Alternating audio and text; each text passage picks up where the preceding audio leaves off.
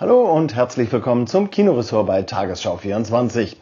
Der französische Autor Florian Zeller gilt als einer der wichtigsten Dramatiker der Gegenwart. Seine Theaterstücke werden weltweit aufgeführt. Romane hat er auch schon sehr erfolgreich veröffentlicht und jetzt dreht er auch noch Filme und räumt auch da gleich wieder Preise ab. Seine erste Regiearbeit, der Spielfilm The Father, basiert praktischerweise auf einem seiner eigenen Theaterstücke und wurde mit zwei Oscars ausgezeichnet. Einen natürlich fürs Drehbuch, einen für Hauptdarsteller Anthony Hopkins. Ohne den hätte Seller nach eigenen Angaben den Film gar nicht drehen wollen und deshalb wartete er mehrere Jahre, bis der britische Schauspielaltmeister Zeit hatte. Was Hopkins den zweiten Oscar seiner Karriere einbrachte und die Besonderheit mit 83 Jahren ältester Oscar-Gewinner der Filmgeschichte zu sein. Wann sind Sie geboren? Freitag, 31. Dezember 1937. Sie leben zurzeit mit Ihrer Tochter zusammen, richtig? Ja, in meiner Wohnung. Nun, zumindest ist es das, was Anthony glaubt. Doch die Welt ist kompliziert geworden, seit der ältere Herr an Demenz leidet. Nein, Papa, was redest du da? Viel mehr erfährt man nicht über Anthony. Ich will dir helfen. Helfen, wobei? Es ist alles bestens, Anne. Denn viel mehr weiß er auch nicht mehr über sich. Eine enorme Belastung für ihn und Tochter Anne. Wer sind Sie?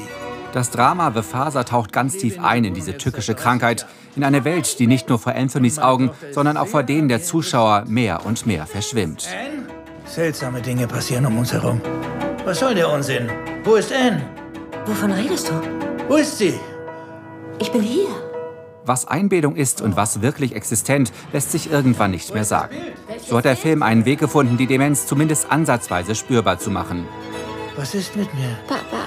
Ein Drama, das einen mit voller Wucht trifft und durch Mark und Bein geht. Wer genau bin ich eigentlich? Eindringlich und herausragend gespielt von Olivia auf, so zu reden. und natürlich Anthony Hopkins. Ich werde meine Wohnung nicht verlassen. Gekrönt mit seinem zweiten Oscar. Hat jemand meine Uhr gesehen? Sie wurde gestohlen. Nein, wurde sie nicht. Was soll das heißen? Nein. Ein Kammerspielartiges Meisterwerk, psychedelisch, gnadenlos und von Kopf bis Fuß einnehmend. Wie lange haben Sie noch vor, hier rumzuhängen und das Leben Ihrer Tochter zu ruinieren? So muss Kino sein. Was? Danke für alles. Das ist er, der Film, über den Angela Merkel zur großen Empörung der Bildzeitung im Kino gelacht hatte, während die Bundeswehr ihre Rettungsflüge in Afghanistan aufnahm. Keine Komödie mit Till Schweiger oder Elias Mbarek, sondern die Dokumentation Die Unbeugsamen über starke Frauen in der Bundespolitik und eine Abrechnung mit Sexismus im Bundestag. Amüsant fand die Kanzlerin vermutlich vor allem, was für eine peinliche Figur so manche mächtigen Männer der Republik dabei im Laufe der Jahrzehnte abgaben.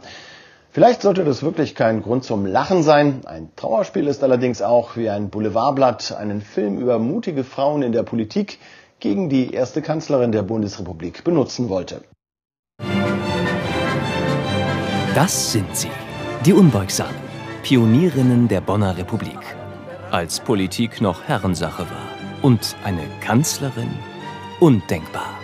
Wenn die Wahl gewesen wäre zwischen äh, der besten Frau von allen in den 70ern und einem dummen August, wäre der dumme August Kanzler geworden. Ja, klar. Der Dokumentarfilm Die Unbeugsamen erzählt vom langen Kampf der Politikerinnen gegen tradierte Rollenbilder, für Partizipation und Gleichberechtigung. Eine filmische Zeitreise. Wenn man heute ins Parlament schaut, dann haben sie da sehr unterschiedliche Lebensstile repräsentiert, in Kleidung, in Sprache, ähm, auch wie eine Frau sich inszeniert, ob sie sich weiblich zeigt oder nicht. Das war Parlamentarierinnen in den 50er, 60er Jahren fast unmöglich. Kind und Karriere. Sie hat es vorgemacht. Mehr Frau sein in der Politik gewagt. Ingrid Matthäus. 1972 erste Bundesvorsitzende der Jungdemokraten. Auf Bonner Partys wird sie wie ein Paradiesvogel herumgezeigt. Ein seltenes Exemplar. Eine Frau, die mit 26 Jahren Chef einer der drei großen politischen Jugendorganisationen ist. Finden Sie das normal, dass eine Frau ein solches Amt ausüben kann? Also ich finde das normal. Frauen mussten einiges aushalten in der Bonner Männerrepublik. Nicht nur dumme Sprüche. Wir haben auch nichts gegen junge Frauen. Sie schauen sich zum Teil ganz passabel an. Das ist richtig. sondern auch Handgreiflichkeiten. Der Film lässt Politikerinnen von damals heute zu Wort kommen, die mehr Demokratie gewagt und der männlichen Geschichtsschreibung etwas entgegengesetzt haben. Über Parteigrenzen hinweg haben sie gekämpft. so auch der ersten Kanzlerin, den Weg geebnet. Die zollte ihnen bei der Berliner Premiere Respekt. Mit ihrer Beharrlichkeit und ihrem Mut sind all jene, die standgehalten haben, auch heute noch echte Vorbilder für Frauen, nicht nur in der Politik, sondern ich glaube in allen Lebensbereichen. Griechenland stolpert gefühlt seit Jahren von einer Krise in die nächste. Da war erst das Schuldendebakel und die folgende Wirtschaftsrezession. Corona ging an den Menschen auch nicht spurlos vorbei und im Sommer brannte dann noch gefühlt das halbe Land. Auch der Schneider Nikos hat mit seinem Geschäft schon bessere Zeiten gesehen. Mit seinem Gefühl für Stoff und Stil und mit seinen Preisen ist er irgendwie aus der Zeit gefallen. Die Kunden können oder wollen sich seine Qualität nicht mehr leisten. Also muss ein Ersatzplan her. Und so wird aus ihm in dieser zauberhaft poetischen Love Story der Hochzeitsschneider von Athen.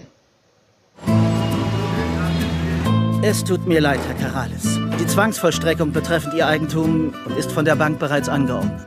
Das war's dann wohl. Nach all den Jahren als leidenschaftlicher und überaus penibler Herrenschneider steht Nikos vor dem Aus. Das Familienunternehmen einfach gegen die Wand gefahren. Du musst dich ums Geschäft kümmern. Keine Sorge, alles wird gut. Der Plan? Was wird denn das da, wenn's fertig ist? Ein mobiler Straßenstand mit feinstem Zwirn. Doch für den schüchternen, reservierten Mann eher keine Idee mit Zukunft. Was kostet so ein Anzug? Also der günstigste Stoff, den ich anbieten kann, kostet 110 Euro pro Meter. Was soll das? Du machst dich lächerlich. Aber er ist auch ein Träumer und deswegen ist es ihm möglich, diese völlig verrückte und unerwartete Idee zu entwickeln und sich so neu zu erfinden. Also noch eine neue Idee. Verkaufst du Hochzeitskleider? Ich nähe keine Hochzeitskleider. Doch, doch, ich mache es. Statt teurer Anzüge gibt es ab sofort preiswerte Träume in Weiß, unterstützt von Nachbarin Olga. Ich würde gern gut nähen können. Eine Zusammenarbeit, die fruchtet. Es ist perfekt. Auf gleich mehreren Ebenen. Und doch ist der Hochzeitsschneider von Athen keine 0815-Romanze und mehr als eine leichte Sommerkomödie. Ein authentisches Sozialdrama mit herrlich verschrobenen Charakteren. Nikos. Meine ursprüngliche Inspiration war, einen Film über die Finanzkrise in Griechenland zu drehen. Aber diese ganz besonderen Eigenheiten der Hauptfigur haben uns in eine deutlich lustigere, hoffnungsvollere und optimistischere Richtung geleitet. Mein Sohn macht mir Schande. Deine Brautkleider sind für Näherinnen, aber wir sind Schneider. Zwar wirkt der Film manchmal etwas unentschlossen, welche Geschichte er nun genau erzählen will, macht aber in jedem Fall gute Laune. Wunderschön. Das war das Kinoressort bei Tagesschau 24. Vielen Dank fürs Zuschauen und bis zum nächsten Mal.